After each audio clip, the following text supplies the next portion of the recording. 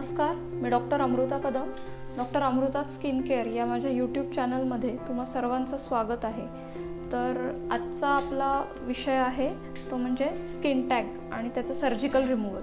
Generally skin tags हे छोट्या आणि मोठ्या साईजचे असतात आणि त्यानुसार त्याची ट्रीटमेंट ठरते. शक्यतो छोटे स्किन टॅग्स असतात ते होमिओपॅथिक औषधांनी निघून जातात पण जे खूप मोठे असतात आणि कॉस्मेटिकली बॉदर होतात असे स्किन टॅग्स सर्जिकली रिमूव्ह करावे लागतात. तर आता आपण पाहूयात त्याची प्रोसिजर तर हा जो स्किन टॅग दिसतो आपल्याला हा रिमूव्ह करण्यासाठी आपण अंडर लोकल ॲनस्थेशिया म्हणजे तिथल्या ती जागा काही वेळासाठी बधीर करून मग तिथे प्रोसिजर करून तो काढला जातो. तर लोकल ॲनस्थेशियाचं इंजेक्शन दिलं जातं आणि ही सिंगल डे प्रोसिजर आहे. सिंगल सिटिंग होते म्हणजे अगदी पंधरा ते वीस मिनटं इतक्या कमी कालावधीमध्ये होऊन जाते. आपण पाहतोय त्यानुसार इथं लोकल ॲनस्थेशिया स्किन टॅग जिथे स्किनला चिकटला आहे तिथे त्याच्या मुळाशी व्यवस्थित देणं गरजेचं आहे. जेवढं ॲनस्थेशिया व्यवस्थित दिला जातो तेवढं ते कमी ब्लीड होतं रक्त कमी येतं आणि तिथे पेशंटला त्रासही कमी होतो. तर स्किन टॅक्स बेसिकली काय येतात? तर स्किन टॅक्स येण्याचं कारण असतं बेस सगळ्यात मेन कारण म्हणजे ओबेसिटी म्हणजे वजन वाढण्याची जर टेंडन्सी असेल तर स्किन टॅगची टेंडन्सी जास्त असते. दुसरी गोष्ट प्रेग्नन्सीनंतरही स्किन टॅग येण्याचं प्रमाण खूप जास्त असतं.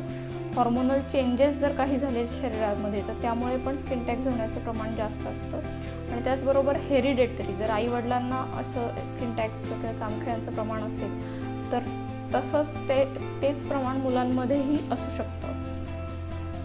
तर आता हा जो स्किन टॅग आहे याला आपण व्यवस्थित ॲनेस्थेशिया दिलेला आहे. त्यामुळे आता पेशंटला पुढची जी प्रोसिजर आहे ती जाणवणार नाही आणि तो ती वेदना रहित होईल. आता याच्यानंतर आपण सर्जिकली स्किन टॅग जर रिमूव्ह करायचं असेल तर रेडिओ फ्रिक्वेन्सी किंवा एल्मन यासारखे मशीन्स आपण वापरतो आणि त्याच्याने ते रिमूव्ह केले जातात. तर तुम्ही प्रोब जो असतो तो जेवढा प्रिसाईज टच कराल तेवढं ते इंटॅक्ट म्हणजे पूर्णच्या पूर्ण स्किन टॅग निघू शकतो. जर तुम्ही प्रोब चुकीच्या ठिकाणी टच केला तर तो स्किन टॅग जो आहे तो कदाचित त्याचे तुकडे तुकडे होऊन निघेल तो पूर्ण संबंध अखंड निघणार नाही. किंवा तिथे खड्डा जास्त होईल ब्लिडिंग जास्त होईल त्यामुळे प्रोब ॲक्युरेट ठिकाणी किंवा प्रिसाईज ठिकाणी टच करणं ही जास्त महत्त्वाचं आहे. आता हा स्किन टॅग जो आहे हा थोडासा साईजला मोठा आहे त्याच्यामुळे इथे थोडंसं ब्लिडिंग जास्त होण्याची शक्यता आहे. त्यामुळे आपण त्या तयारीनुसार ती स्किन प्रोसिजर करण्यासाठी सुरुवात केली आहे. आता प्रोब व्यवस्थित टच करून झाल्यानंतर स्किन टॅग इंटॅक्ट निघालेला आहे.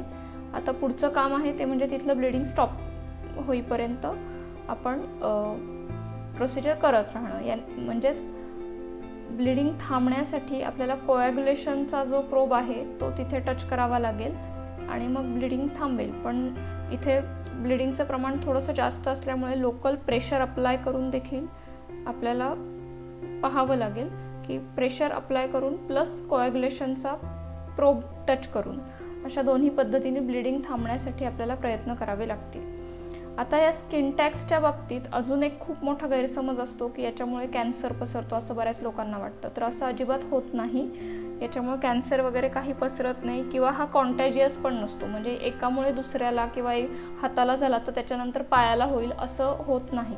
स्किन टॅगचा ॲज सच असा काही त्रास नसतो. फक्त त्रास इतकाच असतो की जर त्याचा साईज मोठा असेल किंवा तो थोडासा अडचणीच्या जागी आला असेल फॉर एक्झाम्पल काखेत आला असेल किंवा कमरेवर असेल किंवा मानेवर असेल तर तो रोजच्या आपल्या हालचालीमुळे तिथं फ्रिक्शन होऊन घर्षणामुळे तो इरिटेट होऊ शकतो किंवा थोडंसं तिथं असं दुखल्यासारखं किंवा जाणवल्यासारखं होऊ शकतं.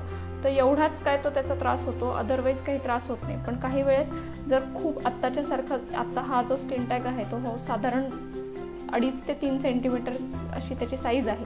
तर एवढे मोठे स्किन टॅग जर असतील तर कॉस्मॅटिकली दिसण्याच्या दृष्टीने ते अडचणीचं ठरू शकतं.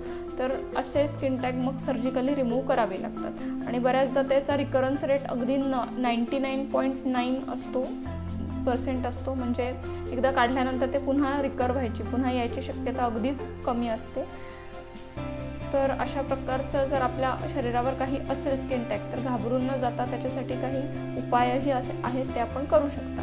हा स्किन टॅग आपला काढून झालेला आहे आणि तिथलं ब्लिडिंग देखील पूर्णपणे थांबलेलं आहे आणि स्कार फार राहणार नाही खड्डा फार पडणार नाही. धन्यवाद.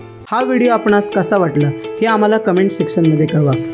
तसेच आपल्या मित्रांसोबत शेअर करायला विसरू नका. आमच्या चॅनलवरील व्हिडिओ आपणास आवडल्यास आमच्या चॅनलला लाईक आणि सबस्क्राईब करा. धन्यवाद.